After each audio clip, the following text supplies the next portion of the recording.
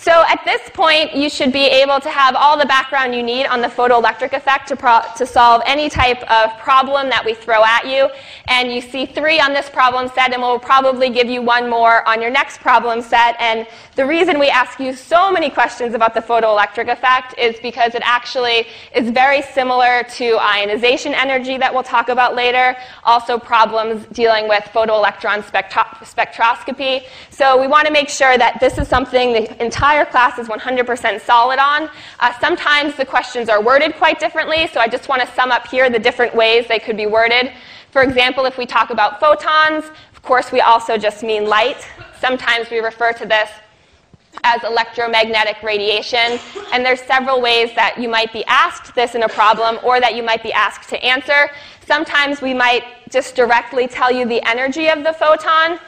That's probably the easiest scenario because when we think about work functions, those are usually reported in uh, energy. So since that's the easiest scenario, you can probably be sure it's not going to be too frequently that you're just given the energy, right? That might be too easy. So really what we'll probably do is instead either give you the wavelength or the frequency, and you'll go ahead and calculate the energy from there. In terms of talking about the electrons, I wanted to point out that in the book and other places, you might see electrons referred to as photoelectrons. That's sometimes confusing for people because it seems like, okay, is it a photon or is it an electron? Uh, I just want to clarify that it is an electron. It's called this just because it's an electron that results when an electron absorbs a photon's worth of energy, so thus it's a photoelectron.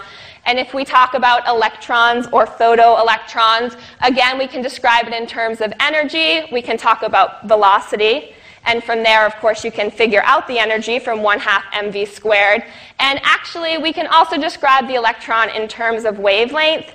So you don't actually know this yet from this class. You'll know it by the end of class that electrons can in fact have a wavelength. So once we cover it, it will then be fair game to ask these photoelectron uh, spectroscopy or these photoelectric effect questions using the wavelength of the electron. Also, to point out, a lot of times you'll see electron volts instead of uh, joules. This is the conversion factor here, just so you all have it in your notes.